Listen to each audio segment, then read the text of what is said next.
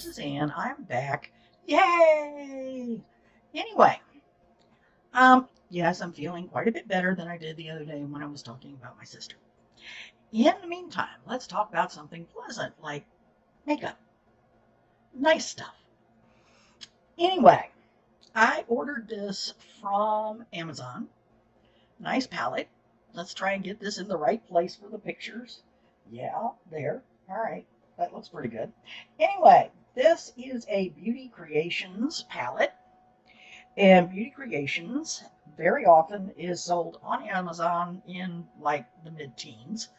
This time, however, this one was listed for a penny. And the shipping cost was $3.99.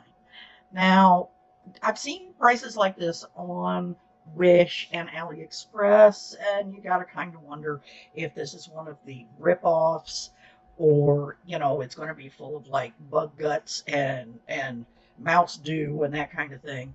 However, this came very nicely wrapped. It was in good condition when I got it. I haven't seen you know like any odd, unidentifiable chunks in any of the any of the pans, and most of the colors work very nicely. So I've been happy playing with this so far. But I figured, why just play with it? Why not show people? It's like, yes, I know, I'm cheap. But sometimes it works out. I figured I could, you know, use four bucks and take that risk and decide. And then show you what I actually got for that.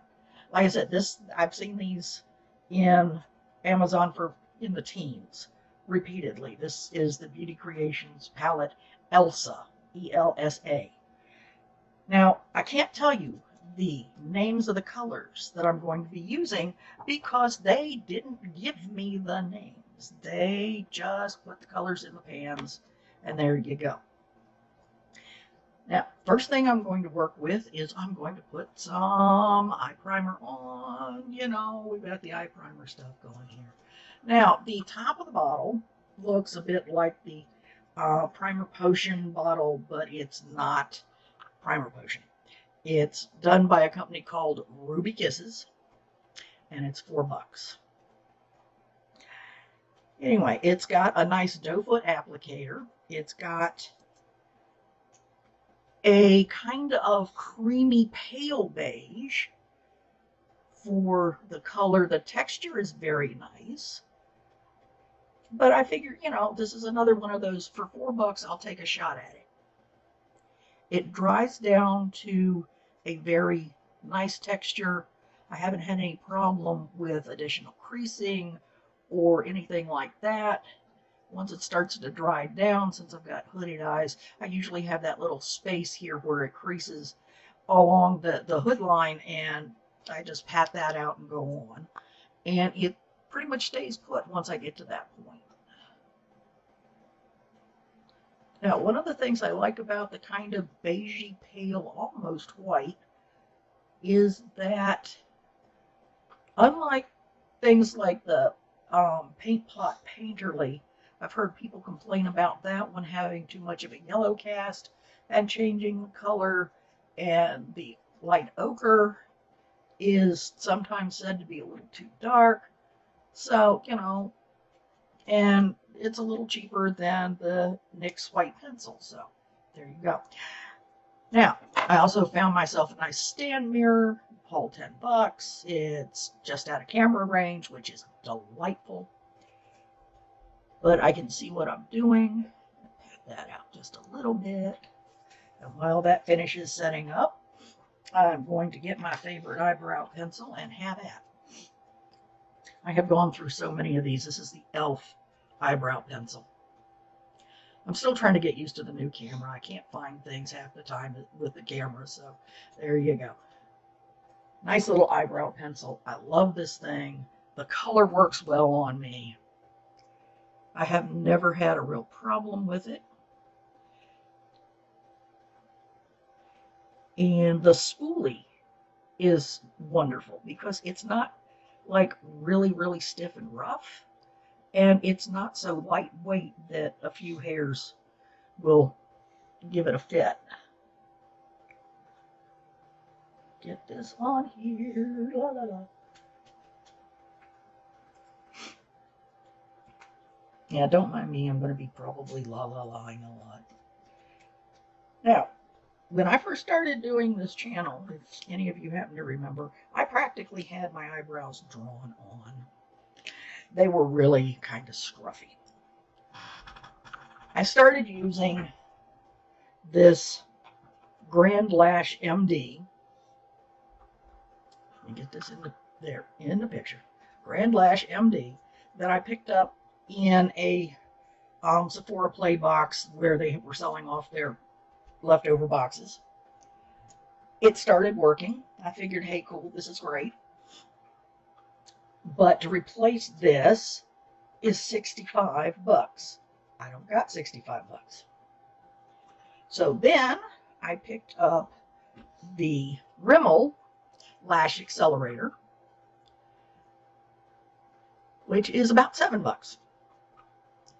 And it's got this little brush in here where you can go along the edge of your eyelashes. It's also got spool cut into the stem so you can comb your eyebrows. So you can work on both to put some hair back. And it's actually done me pretty well. I've actually got a few hairs now instead of just drawn on pieces, which is great. Plus my eyelashes are much better off than they were. They're much extended. Another thing, and this comes from the DIY guides. One of the things about Mac Fix Plus that helps with keeping, you know, making the colors stay a little better and, you know, making them a little brighter when you spray your brushes is glycerin, vegetable glycerin. I added a few drops to my water bottle and it's working amazingly well. It's like, okay, yeah, it's not a expensive bottle of MacFix Plus, but it works. You know, who can complain? All right, enough of the jawing. Let's see. I'm just going to take this brush and give a little sweep. Nothing on the brush, just a plain brush. And make sure that I don't have any little creasy places before I pick up the brushes I'm going to use to smear things all over my face. Or at least all over my eyes. Now, I picked up a technique from Mr. Wayne Goss for doing colorful looks with hooded eyes. When he first does his his startup in the um, in his video, this detailing the technique, he comes on and he's wearing browns and mattes. And he's got one eye done with this technique. And he's doing that to start off with because he's trying to make the point that it's the technique, not the colors. So he starts off with what most people tell people with hooded lids they really need to stick to. So you've got, you know, the browns and the mattes, nice quiet colors. So there you go. And then he went and pulled three color, very colorful pieces out of a palette and did a bright turquoise under the eye. And then this absolutely gorgeous burnt sienna over the main part of the lid. And then this intense deep blue at the at the corners. And it was wonderful. And it didn't show that there was a hood there because instead of trying to to work around the hood, he actually kind of worked the entire hood area into the the the colors. There wasn't anything like trying to create a wing particularly or anything like that. It was more trying just covering the entire area with the colors so that the hood was basically just part of the whole. Now, I've done this technique a couple of times, playing with it, and I've gotten up to about five colors putting them, you know, from the inner corner out this way and then just taking the one dark color to do this outside corner. It's fun. It looks good. I'm enjoying it. So, now, again, this is the way Mr. Goss does his technique. And he started under the eye to begin with with bright color. I'm going to do the same thing, at least the first time that I do this on camera. I've got a really pretty orange, kind of a pumpkiny orange. Let me try and get this in, in here.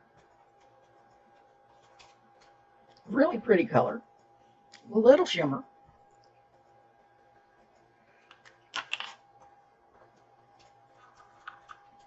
A little spritz.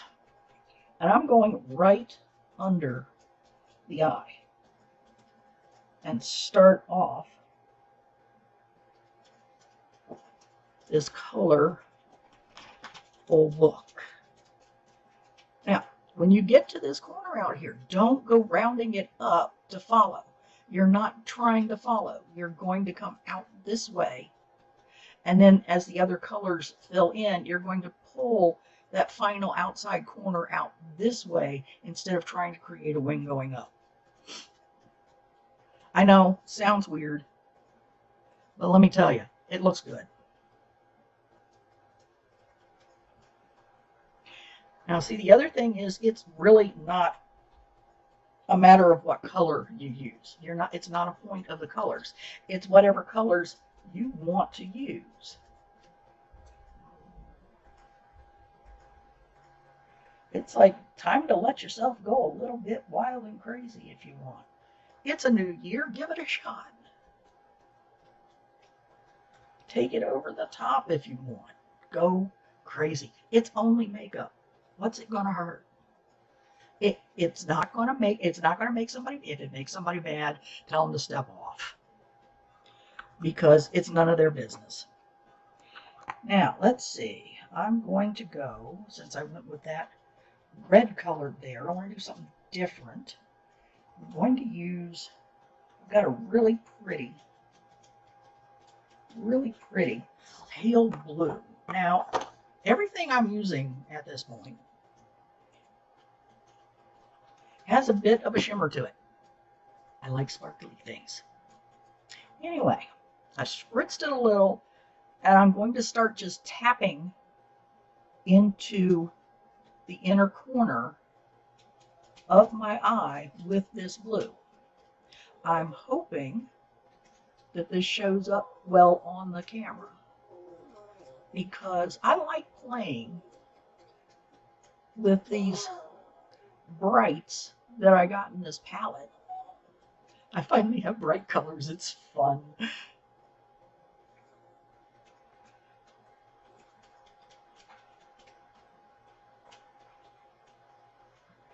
And I, but the thing is, what it is, is I want you to see, I want you to be able to see how the technique works and show you that it doesn't have to be boring stuff just because it's a hooded eye. It also doesn't have to be boring stuff just because some of us have a few more years than others. I've already had couple of people think that I'm just out of my tree for going pretty much ham with brighter colors and shimmers and glitter occasionally because apparently 60 year old persons are not supposed to have fun. I got news. They're going to get news because I've done these this pattern with different colors a couple of times now and gone out and done my grocery shopping as is. And don't nobody got the nerve to come jumping up in my stuff about it. Now, we've got another really nice color here. Really, really pretty, kind of a light mossy green. Give everything a little spritz.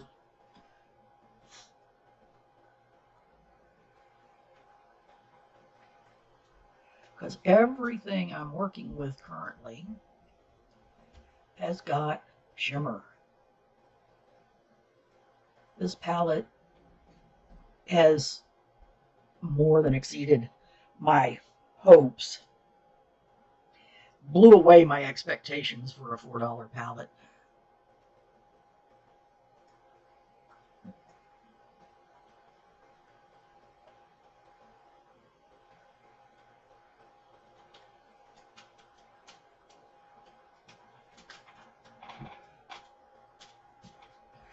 Yeah, not too bad. Not too bad.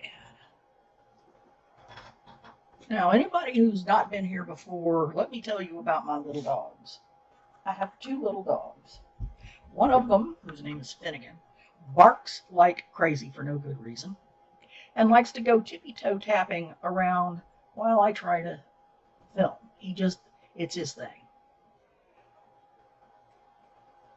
Poor little guy, in another couple of days, is going to be 12 years old.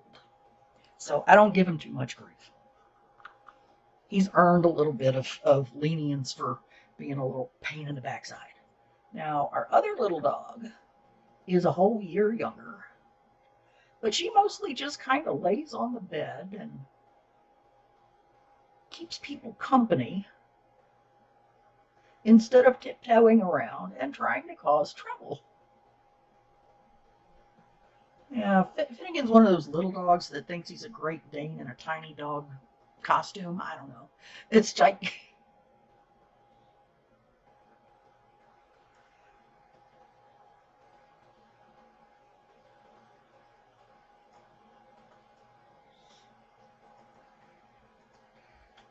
Alrighty. Clean that off just a little bit. I've got one of those um, microfiber washcloths here that I use to wipe off.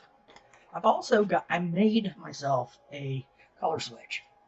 You go to the Dollar Tree and you get yourself one of the little magnetic base tins and a uh, ponytail donut. There you go.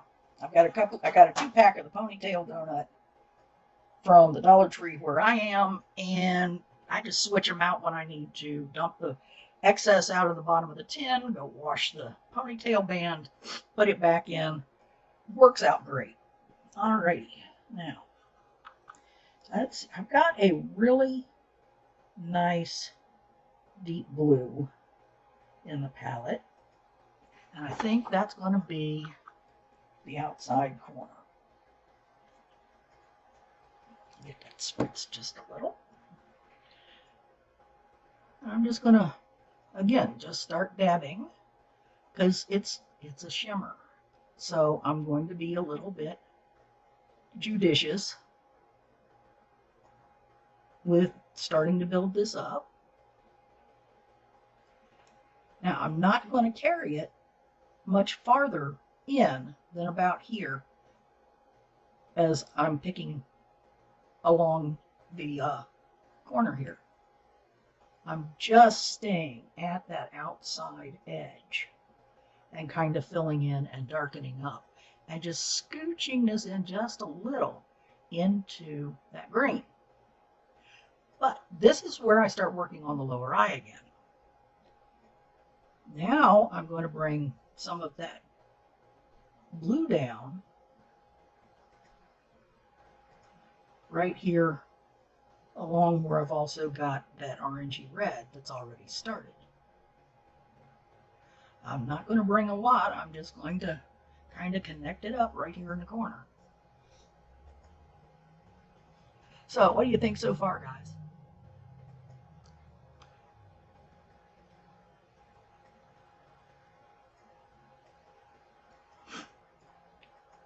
Now, once I get the colors laid down, I will probably go in and fuss with it a little bit and take a brush and play with the edges and kind of soften some of it up and all that lovely stuff. So I don't have like too many harsh lines. Sometimes it depends on the colors. Sometimes I don't mind doing kind of the harsh line thing. It's like, but that's a particular look that I usually think of on some of the editorial looks. And I'm not normally that much on the editorial looks.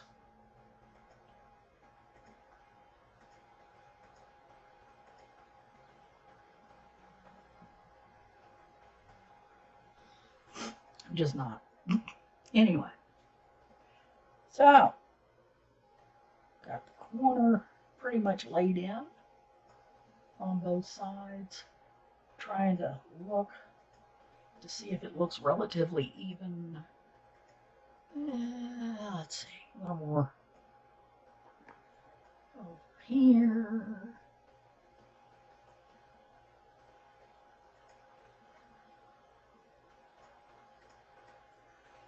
And probably need to touch a little more of the green. Get my brush.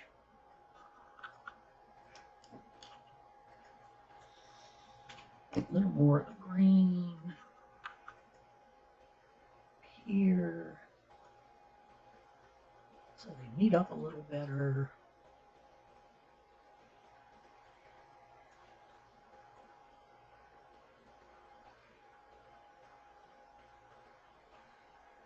Alrighty. Looking sort of even. Believe me, I will never ever be completely even, so.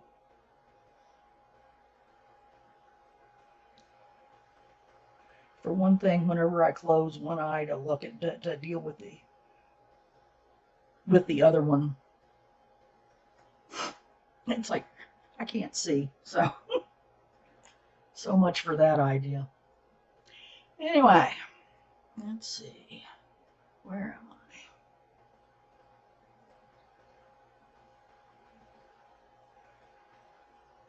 That a little more. So it looks a little more like the other side. La la la la la. Plain brush, no new product. Da, da, da, da, da. I promise I will get figured out where things are to get it in front of the camera. I really will. For some reason, my webcam just, when I thought I had everything lined up with the webcam, it just, it just wasn't.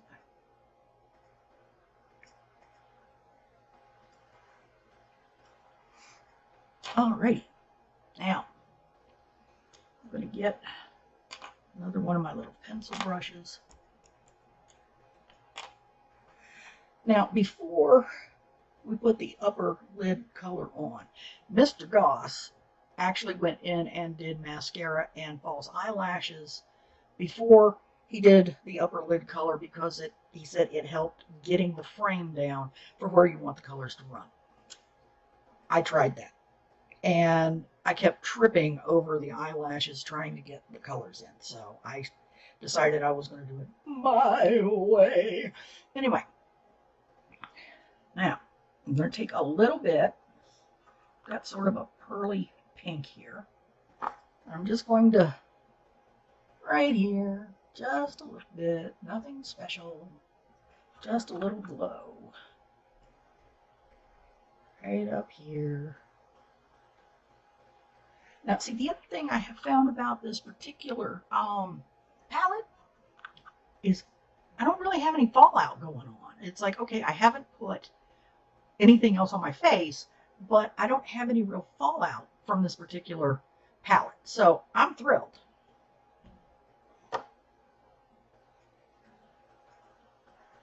Now I'm going to take a really pretty gold that's in this palette. It's almost like you're looking at 18 karat gold. It's like really deep gold. And I'm going to, right here, go in the corner and up just a little bit. And then in the corner and down along that bottom lash line just a little bit.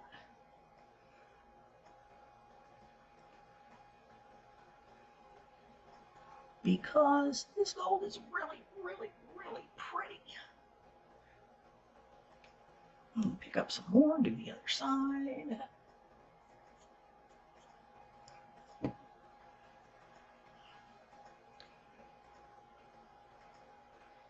Up just a little bit, over just a little bit, down, across.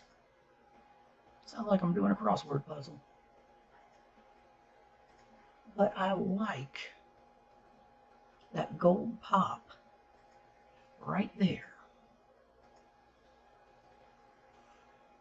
Now, I'm going to turn the camera off, run away for a few minutes.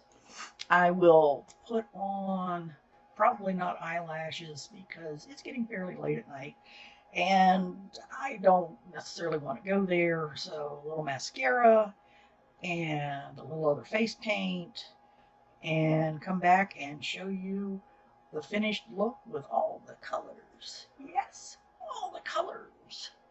Yeah, I'm having fun. I'll be right back, guys.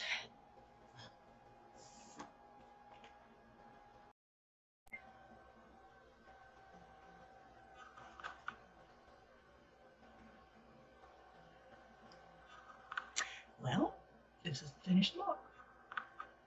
Time for your opinions. We know you have them.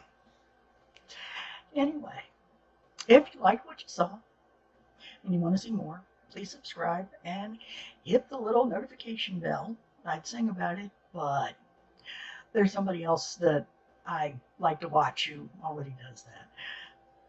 So, wherever you are, be good.